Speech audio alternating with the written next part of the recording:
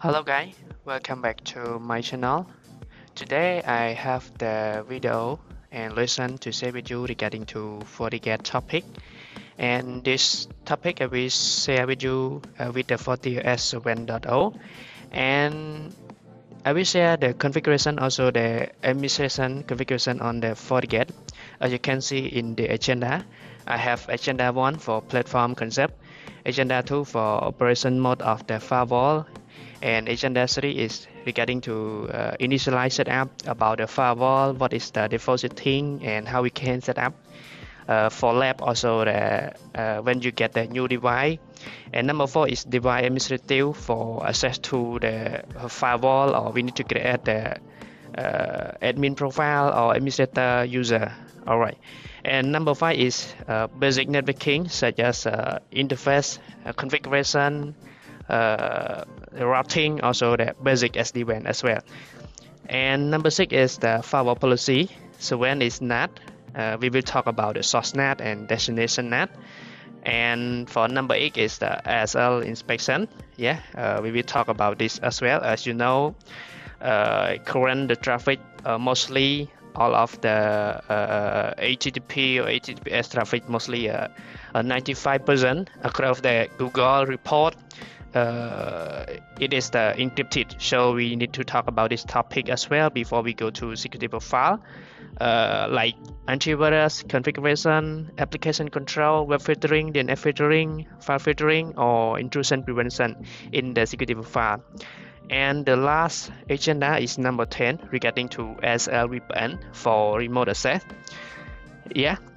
And today I will share with you uh, platform concept and operation mode in the firewall first. And we will uh, go to initialize and device uh, administration in next video. Okay so now go to platform first. Make sure you guys understand uh, the FortiGate uh, platform. Yes before uh, we go to initialize or or do any like uh, basic networking or any security or firewall policy right? So we need to understand the platform concept first Alright, as you can see in the slide, yes, you can see the FortiGuard subscription service.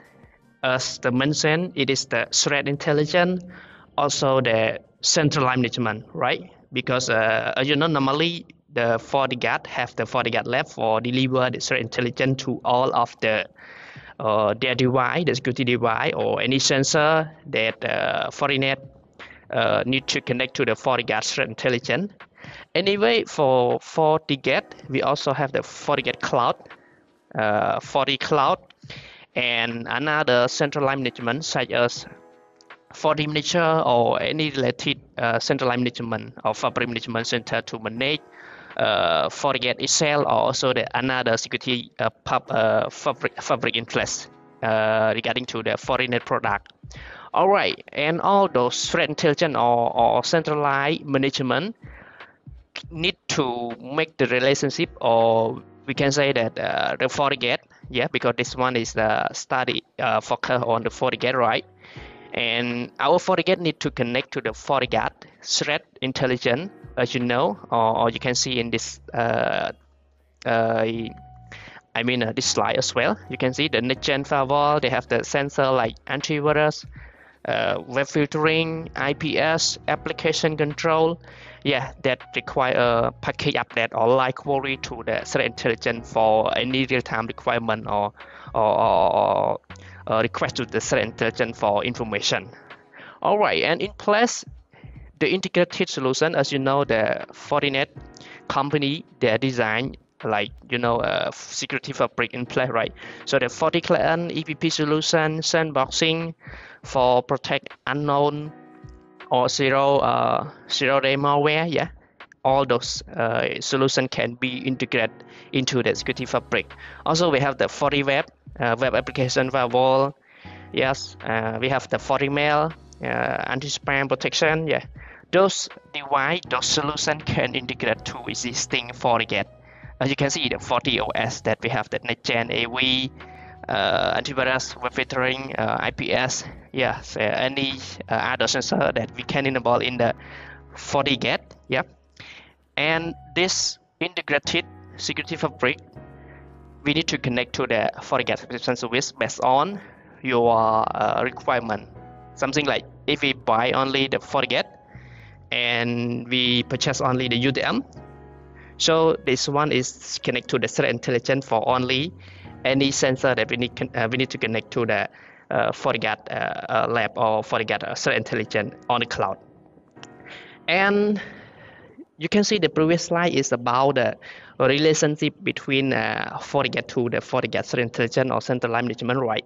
Anyway, if you have the FortiManager, uh, we know uh, fabric management center, also the FortiAnalyzer for for uh, basic uh, security tool, yeah.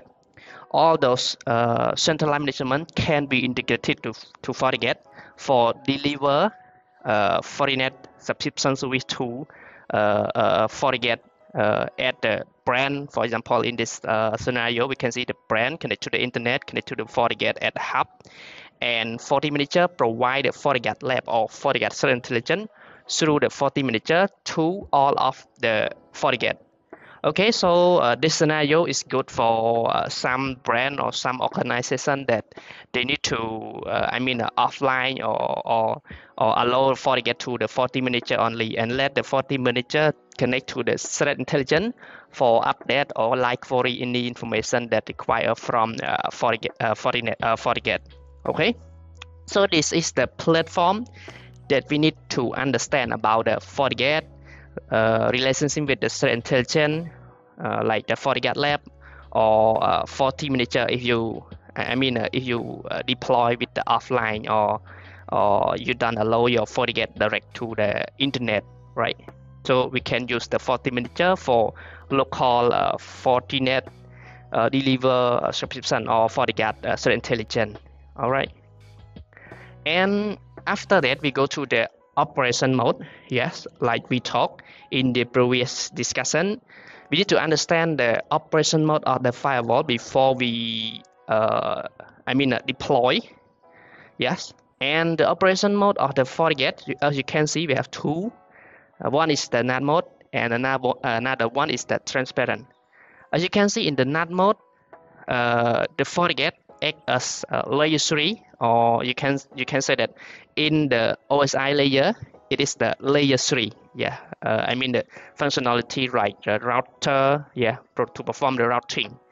And the requirement is that we need to assign an IP address to the interface that we need to route the packet or we need to read to another network. All right similarly to the uh, Cisco router or router on the stick right?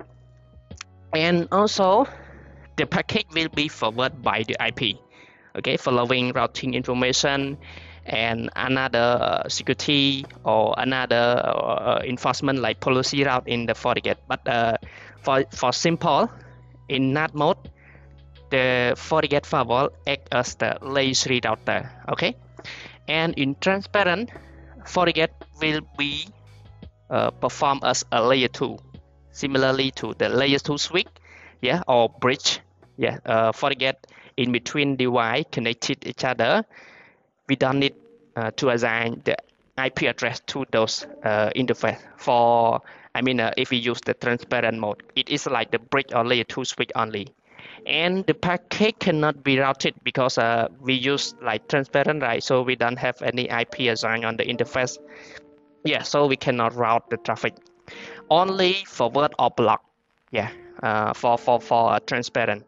Anyway uh, or transparent it I mean uh, it depends on your requirement as well. For sometimes you need to use or you need to choose a NAT or, or a transparent based on your requirement. Okay? So make sure you understand so make sure you understand the platform concept also the mode operation like NAT or transparent before you uh, deploy or you configure uh, your firewall all right and next video we will go to the initialize setup about the uh, FortiGate. Alright, see you next video. Thank you.